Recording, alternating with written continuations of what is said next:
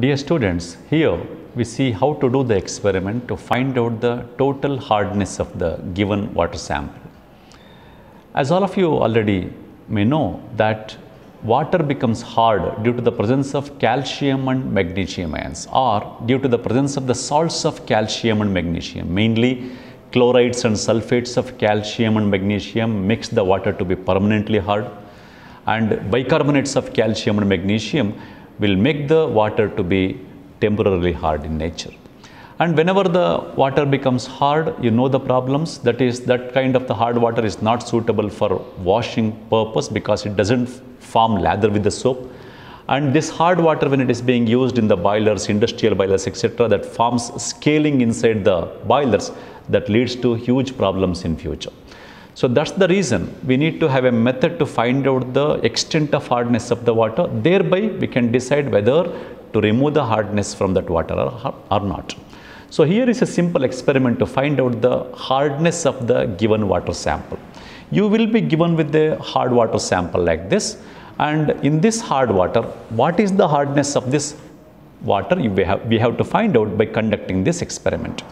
This experiment is very simple and this experiment uh, has two parts. First part is the preparation of standard solution of disodium salt of EDTA. In order to find out the hardness of the given water sample, we take the help of disodium salt of EDTA solution. We don't use EDTA. EDTA is nothing but ethylene diamine tetraacetic acid. But being an organic compound, EDTA has very less solubility in water. Therefore, instead of using EDTA here, we use disodium salt of EDTA. The first step of the experiment is the preparation of standard solution of disodium salt of EDTA. So what we need to do is as usual we have to take the salt of EDTA along with the weighing bottle and the salt we have to note down the weight of the uh, weighing bottle and the salt. Then we have to uh, transfer the salt into the flask, standard flask through a funnel like this. Then we have to note down the weight of the empty weighing bottle. The difference will give you the salt weight. Once the salt is transferred into the flask through the funnel like this, so some salt will be there in the funnel. So what we have to do, we have to pass the crystals into the flask by adding small amount of water along the sides of the funnel. By adding small amount of water along the sides of the funnel. Okay. So like this, you add small amount of water along the sides of the funnel and pass the crystals. Once all the crystals are passed into the flask, the duty of this glass funnel is over. Remove the funnel and what you do, to this solution, we have to add one third of the test tube of ammonia. Because though the disodium salt of EDTA is more soluble than EDTA, it dissolves slowly. Therefore, to enhance the solubility further, we add one third of the test tube of ammonia into this one in order to dissolve the crystals completely and quickly. So here we have kept ammonia, take this ammonia, add one third of the test tube of ammonia into the into the flask in order to dissolve the crystals clearly. So add the crystals like add ammonia like this, then you shake well till all the crystals are dissolved. When you are shaking well, if the crystals are not dissolved completely, you can add few more drops of ammonia. Few more drops of ammonia in order to dissolve the crystals completely.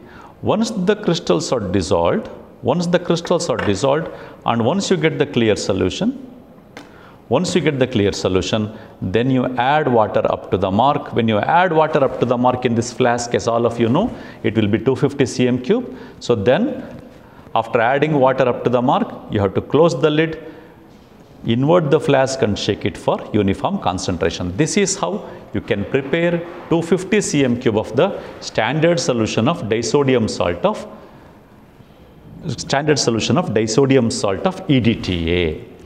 This is the first step of this experiment. So when you are dissolving like this, if the crystals are not dissolved, you can add few more drops of ammonia. You can add few more drops of ammonia to dissolve the crystals completely. Because these crystals, being organic in nature, though we take in the salt form, they take some more, they take more time to be dissolved unlike the other salts you are using in other experiments in the laboratory. So that's the reason Have to be careful, dissolve it properly by adding ammonia. If not dissolved, add some more drops of ammonia as I did now. So now all the crystals are dissolved. Once all the crystals are dissolved like this, once all the crystals are dissolved and you get the clear solution, and you get the clear solution, what you do, you add water up to the mark. You add water up to the mark and close, add water up to the mark and you close the lid and shake it for uniform concentration. when you are doing the experiment, dear students, when you come near the mark, you have to be careful. Always it is better to add water when you come near the mark, by, either by using the pipette or the burette. Because we have the experience, I am adding carefully by using the wash bottle directly. So once you add like this, okay, up to the mark, you close the lid, press it gently, invert the flask and shake it for uniform concentration. Shake it for uniform concentration.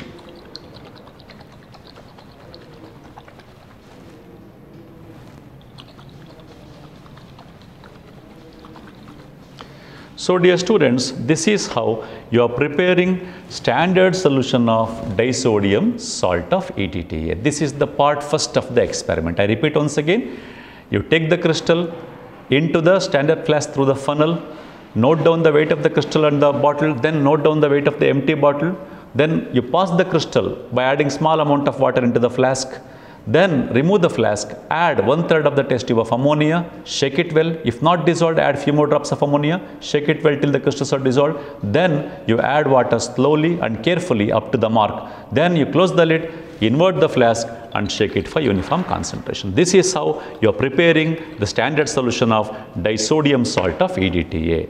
Once the solution is prepared, what you do is you fill the solution into the burette. This burette is already rinsed with water and you rinse the burette with standard solution of EDTA. Then you fill the burette with the same standard solution of EDTA. This is the second, now we are entering into the second part of the experiment.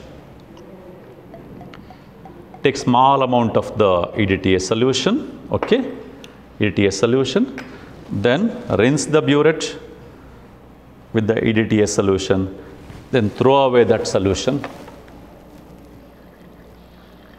Okay. Then you fill the burette with the same standard solution of disodium salt of EDTA. First part, you have to be careful while dissolving the crystals. You have to add ammonia to dissolve the crystals. If not dissolved, add few more drops of ammonia. Then once all the crystals are dissolved, add water up to the mark, close the lid, shake it for uniform concentration, then rinse the burette with water first, then rinse the burette with the solution of EDTA, then you fill the burette with same solution of EDTA. Fill the burette with the same solution of EDTA. To fill the burette, always use this plastic funnel. Fill it carefully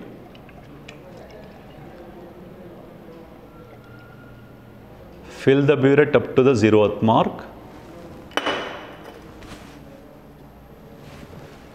Fill it up to zeroth mark, okay. So remove the funnel and run down the extra EDTA into the same flask. Okay, exactly take the solution up to zeroth mark, okay. And the nozzle also to be filled. So this is how you are filling the burette with the standard solution of EDTA. Okay. Now coming to the second part. What we have done in the first part, we have prepared standard solution of disodium salt of EDTA and we filled the burette with the same standard solution of disodium salt of EDTA. Now coming to the second part, the second part is titration thereby to find out the hardness of the given water sample. You are given with the hard water sample and there is a conical flask. You pipette out 25 ml of the hard water sample into a clean conical flask. This pipette is already rinsed with water. Rinse the pipette with hard water once. Take small amount of the hard water and rinse it. Then you pipette out 25 ml of the hard water into a clean conical flask.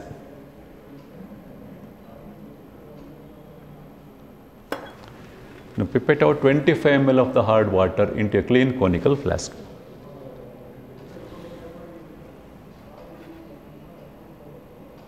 You take hard water exactly up to the mark, then take that into a clean conical flask.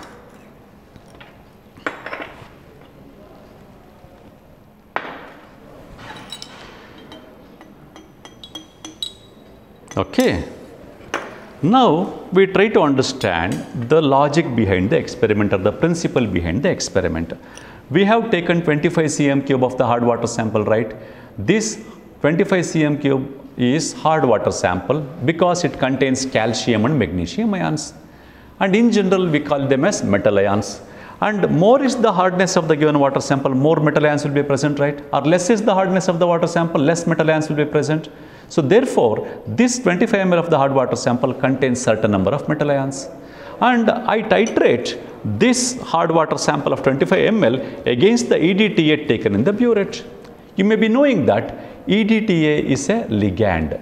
It's a hexadentate ligand. Hexadentate ligand means each ligand, each EDTA molecule can donate 6 pairs of electrons to the central metal ion to form the complex. Therefore, we call EDTA as a hexadentate ligand. In general, let's assume that let's take it as EDTA is a ligand and the hard water sample contains metal ions. And all of you know that a ligand and the metal ion comes in contact with each other, they react with each other to form the complex right. Therefore, if I add EDTA into the water sample now, hard water sample now, what happens? This will undergo reaction, this will undergo reaction, EDTA reacts with the metal ions and form the complex. Therefore, the concept is very simple. More is the hardness of the given water sample, more is the number of metal ions present in the water sample, more is the metal ions present, more EDTA is required to react with those metal ions. Therefore, straight away we can say that the total hardness of the given water sample is given water sample is directly proportional to the quantity or the volume of the EDTA consumed during the course of titration. Clear? No, consumed during the course of titration. So this is what is the logic behind the experiment. But there is a small problem. The problem is the hard water is colorless and the EDTA is also colorless. Therefore, if I add EDTA into hard water sample, reaction takes place and reaction also will be completed but we will not be able to find out where exactly is reaction is completed. Thereby, we will not be able to find out how much of the EDTA is required to react with 25 ml of the hard water sample. That's the reason we need to take the help of the indicator called as Eriochrome Black T indicator. But this Eriochrome Black T indicator shows the sharp color change at a pH of 10 Therefore, throughout the experiment, we need to maintain the pH of 10. Therefore, what we do to maintain the pH of 10, as all of you know, whenever we need to carry out any process at a given pH, we take the help of solutions called as buffer solutions. Here also, we take the help of ammonia ammonium chloride buffer solution. So its pH is 10. So what you do after pipetting out 25 ml of the hard water sample, to that you add 5 ml of the buffer solution. You add 5 ml of the buffer solution. So once you add 5 ml of the buffer solution, this entire mixture is having a pH of 10. To this you add a pinch of Eriochrome Black T indicator. A pinch of Eriochrome Black T indicator. The moment you observe here, when you add Eriochrome Black T indicator, you can observe you are going to get wine red color. This color is called as wine red color. The moment you add a small few crystals of Eriochrome Black T indicator, you are going to get wine red color. But when you look at this, if somebody is asking you what is the color of the indicator, then you may, you may answer it as wine red color or violet color, etc. Right? but actually are purple color and so on. Some, some of you may even tell that by looking at the indicator straight away, you can tell that it is black in color. But actually, the color of this Eriochrome Black T indicator is blue. Its actual color is blue. Suppose you take this indicator, add into pure water, you are going to get blue color. But here, I added indicator into the hard water because there, there that's why I am getting wine red color because this indicator Eriochrome Black T is also a ligand. It's also having the ligand nature. Therefore, the moment I added the indicator into the hard water, it formed complex with some of the metal ions. The color of that complex is wine red. The color of the complex is wine red. Therefore, upon adding the indicator, you are going to get wine red color. And this wine red colored solution, you titrate against EDTA taken in the burette. And I told you that EDTA is ligand, it also forms complex with the metal ions.